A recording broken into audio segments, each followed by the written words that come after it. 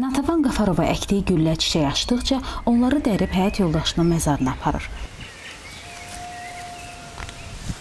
Polkovnik Salih Qafarov 2017-ci ildə casusluq ittihamı ilə həbs edilən, daha sonra döyülərək öldürülən hərbiçilərdən biridir. Ölümündən bir il sonra məhkəmədə günah sübuta yetirilmədiyi üçün ona bəraət verilib.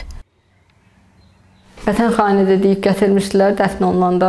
Vətən xaini kimi də bizə hədə qorxular gəlinmişdi ki, hələ şükür eləyin ki, meyidimizi veririk, hələ şükür eləyin ki, torpağa tapşırırıq. Mollalar da gəlib Quran oxumağa qorxurdu dəfində. Sonradan məlum oldu ki, vətən xaini kimi evimdən aparılan adam heç demə günahsızcasına, vəhşicəsinə qətlə yetirilib.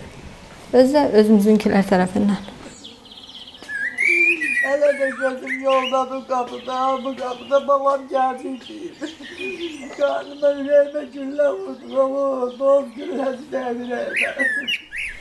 Onun yaşadıklarını inanın düşündükçe insan havalanır.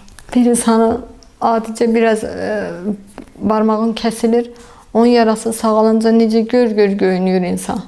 Siz indi təsəvvür edin ki, sizin dırnaqlarınız çəkilir, Həmin yerdən sizə tok verilir, ağızdan tok verilir, butulkanla sizi boğurlar, armaturlarla döyülürsüz. Üç yol qoyulubmuş. Ya boynu almalıydın, ya ölməliydin, ya da kimisə adını çəkməliydin. Mənim yoldaşım da ölümü seçib. Bəlkə də kimsə adam versəydi yaşayardı, amma o özünü sıxışdırmayıb. Yəqin ki, mən günahsız yerə kimsə adını çəkib niyə bədbəxt eləyim? Özü çəkib işgəncə görüb oradakı nə vəziyyət olub orada. 2017-ci ilin mayın 7-sində Azərbaycanın Baş Prokurorluğu Dövlət Təhlükəsizlik Xidməti, Müdafiə və Daxili İşlər Nazirliklərinin birgə yaydığı bəyanatda deyilir ki, Ermənistanın xüsusi xidmət orqanlarına casusluqda günahlandırılan bir qrup hərbiçi və mülki şəxs tutulub. Bundan az sonra saxlanılan hərbiçilərin ölüm xəbərləri gəlib.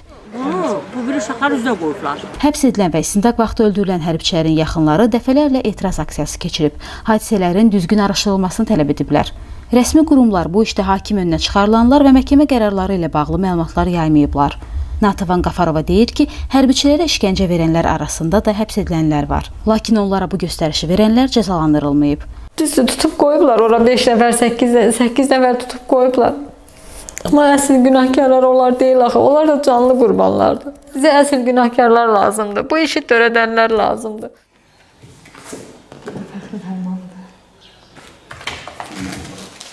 İnanmadım.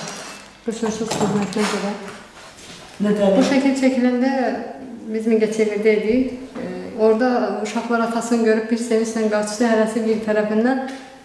Elə öpən vaxtı çəkilən şəkildir. Başdaşı qoyulandan sonra uşaqlar inandı ki, həqiqətən də atasıdır. Atasının dəfn olunan qəbrin üstündəki torpağı gözlərinə basıb, ağzına basıb yeyirdi. Polkovnik Salih Qafarov ömrünün 22 ilini orduda keçirib. Ailənin son istəyi ona şəhidlik statusunun verilməsidir.